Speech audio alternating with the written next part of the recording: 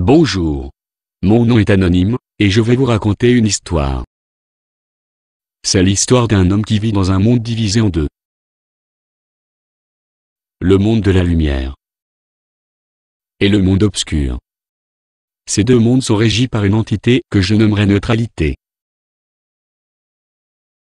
Ici, notre homme peut jouer de la guitare, tirer avec une mitraillette, téléphoner,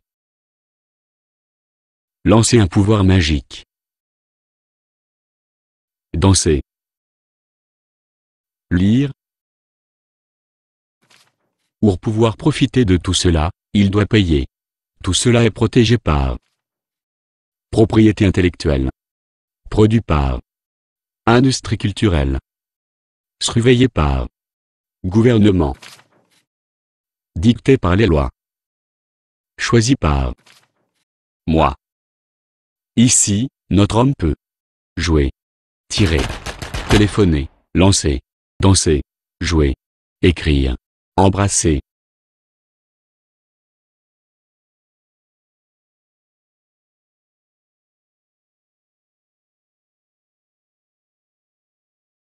Taper. Reproduire. Lire. Tout cela est produit par industrie culturelle, protégé par propriété intellectuelle. N'est pas surveillé par le gouvernement, or les lois, gratuits, sont l'accord de l'industrie culturelle, et distribués par moi.